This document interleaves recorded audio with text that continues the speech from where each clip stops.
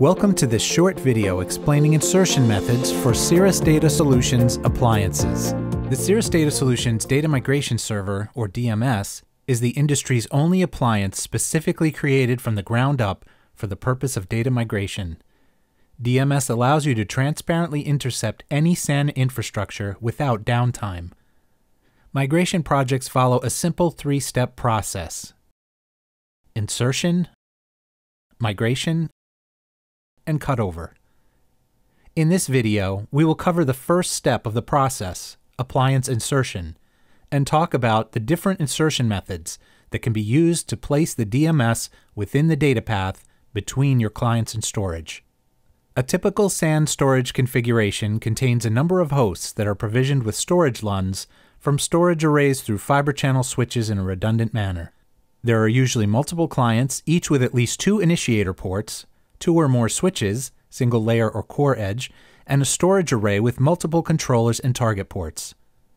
Each host connects to the storage over redundant paths using a multipath driver so there is no single point of failure. The method by which DMS is placed into the data path is called insertion. CDS's transparent data path intercept is a patented technology which eliminates all the pain points associated with deploying an in-band appliance to a live fiber channel SAN. Although this video pertains to insertion as it relates to DMS, the benefits of Transparent Data Path Intercept, or TDI, are many. It allows seamless insertion into the data paths of selected host LUNs logically, without touching production cables, or physically, by plugging directly into the downstream or upstream fiber channel links. It also allows all I/O to be inspected and or processed. It provides transparent in-the-stream addition of advanced storage functions and benefits such as SAN environment mapping and monitoring, data migration, data caching, copy data management and data protection, and performance monitoring. Also, appliances using TDI support multiple insertion configurations to accommodate diverse SAN environments, meeting specific real-world storage requirements. TDI is a means to enable data migration without downtime to your SAN. No matter the requirements of your environment, with TDI, there will be a method by which DMS can be inserted so that data migration without downtime is possible. There are four transparent data path intercept methods. The first is vSAN insertion for Cisco.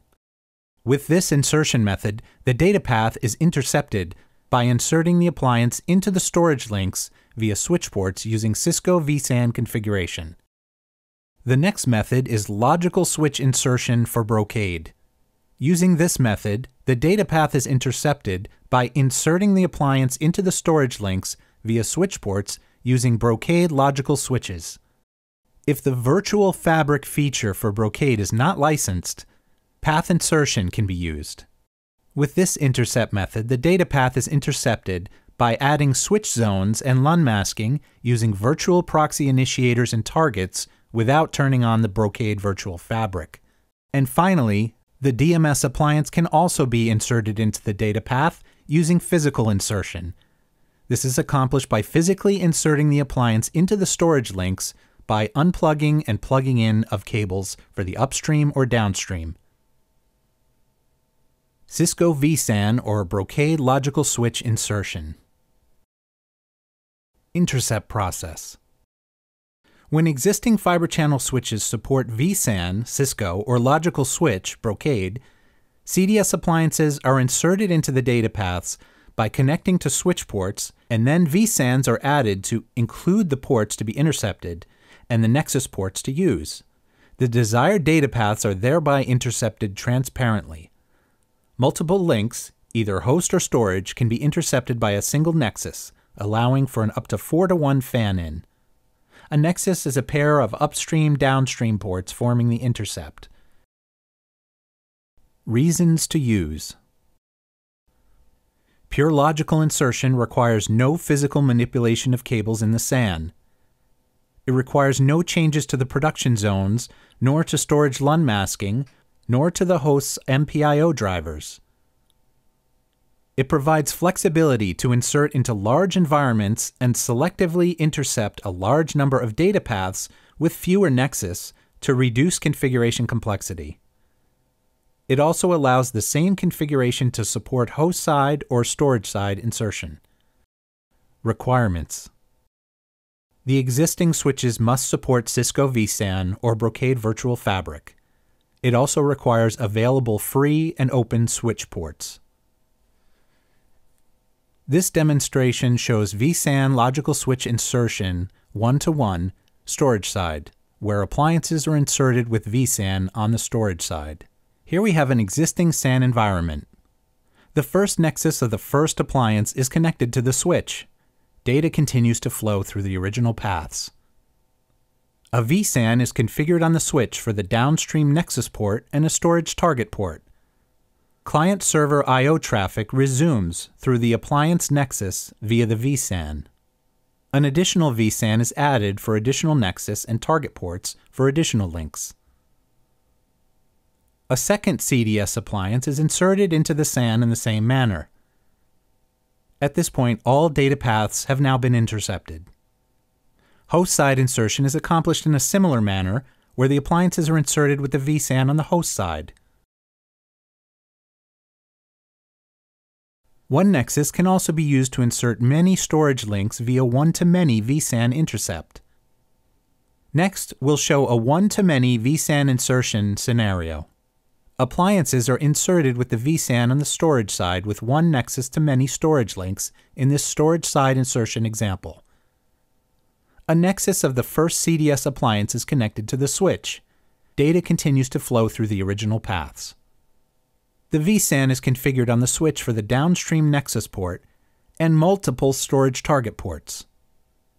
Client server data I.O. traffic of multiple links resumes through the CDS appliance nexus via the vSAN. A second CDS appliance is inserted in the same manner. Client server I.O. traffic resumes through the CDS appliance and the vSAN. Again, for host side insertion, appliances will be inserted with the vSAN from the host side with one nexus to many storage links. Path insertion intercept process. If Virtual Fabric has not been licensed for the Brocade switches in the SAN environment, path insertion can be used. The path insertion intercept process is as follows. The downstream nexus port is added to the zone with the selected storage target to be intercepted. Initiators to be included are zoned to the nexus upstream port. Proxy initiators are created with one-to-one -one mapping and presented to the target. When the LUN masking is added for these initiators, new paths are created. When the original paths are removed, the target is intercepted without disruption. Reasons to use Pure logical insertion requires no physical manipulation of cables in the SAN, and no vSAN logical switch is required. No changes are required to the existing production zones, the DMS GUI wizard will temporarily add new zones. This insertion method provides flexibility to insert into large environments with a large number of data paths to intercept and migrate a smaller subset of LUNs and hosts. It also allows the same configuration to support host side or storage side insertion. Requirements This insertion method requires additional LUN masking and storage. It also requires a rescan for new paths on some host platforms. For path insertion, appliances are inserted via zoning and LUN masking changes. Here we show the initial environment with data flowing through paths. A nexus of the first CDS appliance is connected to the switch. Data continues to flow through the original paths. Zones are created for the downstream port to the target and the upstream port to the initiator. a proxy initiator is added to downstream. At this point, data continues to flow through the original paths. Proxy initiator worldwide port names are added to the storage's LUN masking. Data starts to flow through the new paths as it also continues to flow through the original paths. The original LUN masking is then removed. Client server I.O. traffic now flows exclusively through the CDS appliance nexus via the new zones.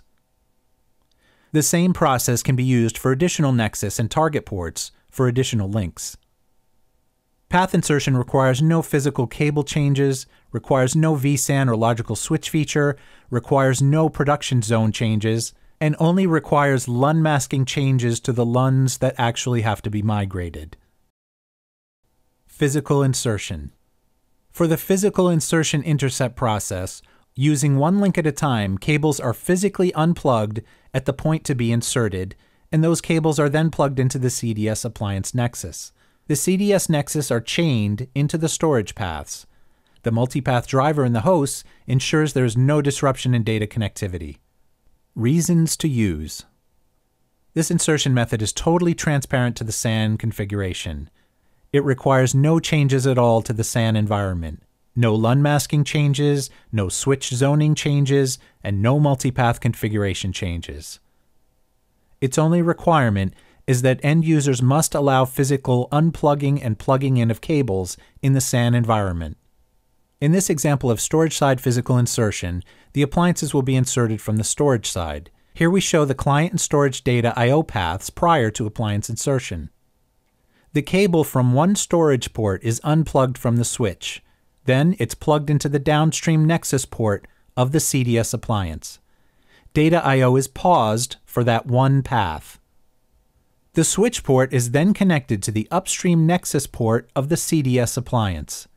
Data I.O. automatically resumes for that path through the CDS appliance Nexus. The second link is inserted to another Nexus, adding the second path. The first appliance is now completely inserted into the data path.